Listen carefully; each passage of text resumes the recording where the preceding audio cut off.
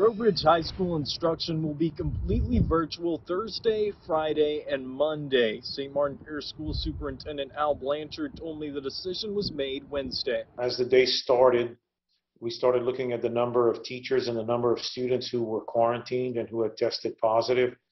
And uh, you know, you come to a point where you you you have to make the decision whether you can remain open or, or closed. Breaux Bridge High School education is going fully virtual for the next five calendar days. All students are equipped with Chromebooks and teachers with Google Classroom. St. Martin Parish Superintendent Al Blanchard said the transition should be smooth. We've had a lot of experience with teaching in that method. Uh, it's still a lot better to have the students seated in the classroom with the teacher and you know with live in-person instruction.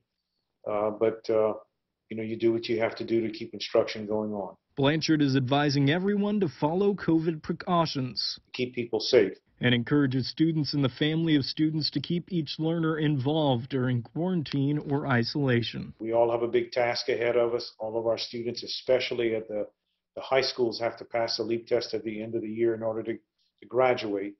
So uh, don't fall behind. Stay, stay up with your studies. Uh, open the Chromebook, uh, log in and do your work while you're at home so that you will be up to date when you return.